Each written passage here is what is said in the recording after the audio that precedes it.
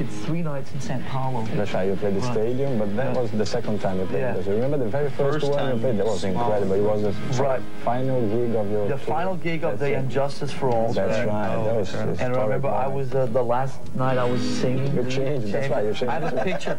I have a picture in my office of uh, James playing drums and me doing my Bruce Dickinson impression. and also, I remember, I just remember things like um, one night, the first Brazilian tour, we played frisbee for about six hours on the beach.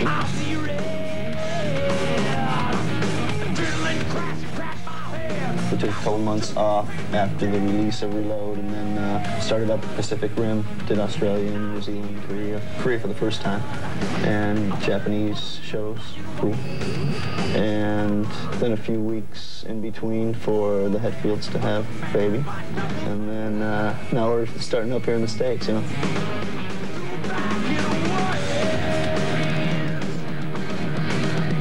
Usually see, I mean, members of the band sort of guest playing in other people's sort of records well, or these kind mm, of things. little little. Sometimes, uh, is it something that you sort of is arranged between I think we're trying to be more open to it. I think that we kind of are realizing now as, as we get older and try and find ways to sustain Metallica for another couple of decades, we realize that we all have needs that go way beyond Metallica. And I think that we used to be very proud of the fact in the early days that it was Metallica and there was nothing else. We still won't let ourselves, uh, or very rarely, be involved in like, you know, soundtrack things or K-Tel's greatest hits. There were some re- remixes, DJ Spooky, Moby. What, what, Those do- kind what of, do that's, that was exploration type of things, yeah. I think it's also um, I think it's also possible to have neutral opinions about. I don't. These remixes don't mean that much to me.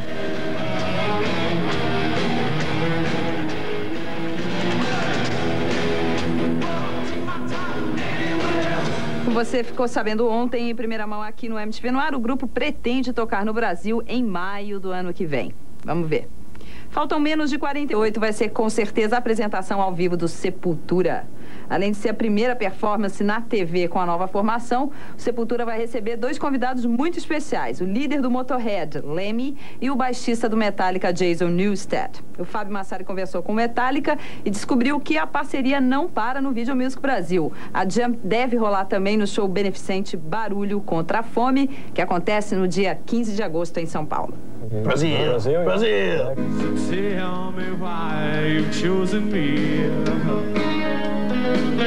There are rumors that you're about to go to Brazil, Sepultura. Yeah, yeah. a couple of things with them. Yeah? All right, we'll be waiting for you down there then. Okay, thanks very much. Cheers. Thank you.